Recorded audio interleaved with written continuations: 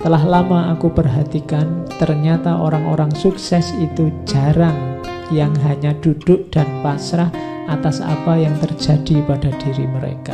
Mereka keluar dan mengalami banyak hal. Jadi ini dalil untuk jangan males. Banyak yang tanya ke saya, Pak, caranya biar nggak males itu gimana? Ya jangan males. Nggak ada caranya, pokoknya jangan males saja. Kalau kamu merasa wah saya ini males, ya sudah bangkitlah. Paksa dirimu untuk bangkit cuma itu dan biasakan untuk beraktivitas. Cuma itu. Karena manusia itu hidup dengan apa yang dia biasakan. Kalau kamu biasa santai-santai, kongko-kongko, enak-enakan, ndak ngapa-ngapain, ya kamu akan terbiasa dengan itu. Maka satu-satunya jalan keluar dari zonamu, aktiflah. Jadi kuncinya itu.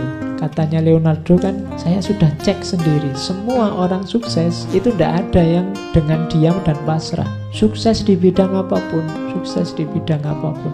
Tapi saya suksesnya ingin di bidang sufi ya Pak, yang pasrah, rela misalnya. Loh, Mbok anggap sufi-sufi itu terus diam saja. Tidak. Mereka mengejar Tuhannya, mengejar anugerahnya mengejar ridhonya. Oh mereka justru tidak tidur siang hari malam hari isinya ibadah. Tidak ada yang kok males-malesan itu tidak ada.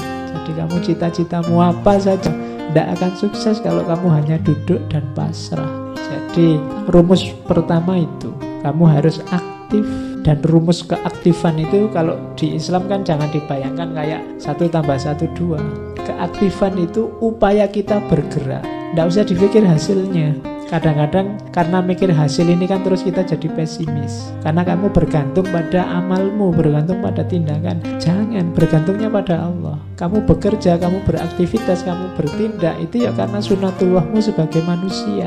Hasilnya apa, itu urusannya Allah, tidak usah kamu pikir. Jadi, jangan salah identifikasi. Tugasmu cuma bergerak. Sering saya ilustrasikan ceritanya Nabi Ismail dan ibunya itu kan ketika Nabi Ismail bayi ditinggal berdua di Mekah susah nyari air lari-lari sofa marwah bolak-balik tujuh kali akhirnya dapat air dari kakinya Ismail yang menjejak tanah. Mbok ya dia jejak sejak tadi biar segera keluar.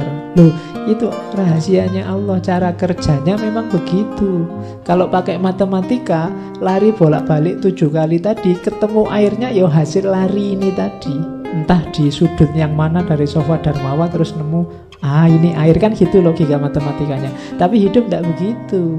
Kita kerjanya ini malah hasilnya keluar dari situ. Nah, ini logika kerja dan hasil. Makanya sudahlah pokoknya kamu aktif saja kerja saja. Tidak usah mikir dapat apa. Kalau kamu mikir target kadang-kadang hasilnya malah kecewa.